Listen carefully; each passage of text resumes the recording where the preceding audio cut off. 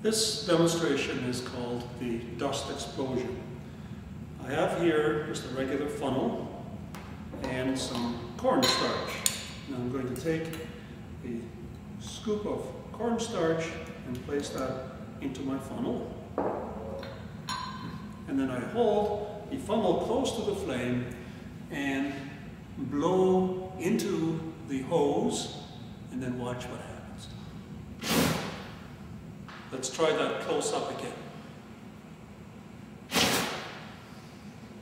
This experiment can be somewhat hazardous and it's important for whoever's doing the demonstration not to have any hair hanging back because that can usually catch on fire.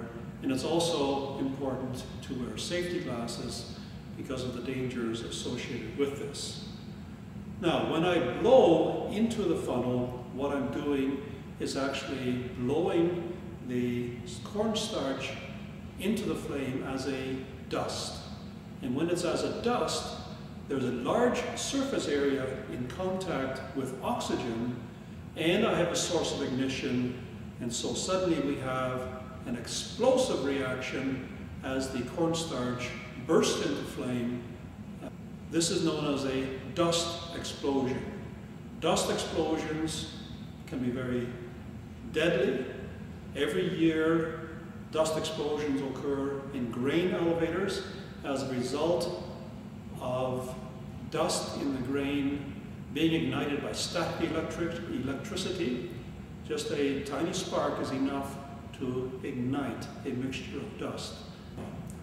Dust explosions can also occur in coal mines, where coal dust can be ignited. This demonstration is also very effective if done in a darkened room. Um, there's the element of surprise. It's best not to tell students ahead of time what is going to happen. Um, just the element of surprise will really enthrall them with what you're doing. At the same time, it's important to let the students know that it can be hazardous and if they're going to try this at home, that they should do so with parental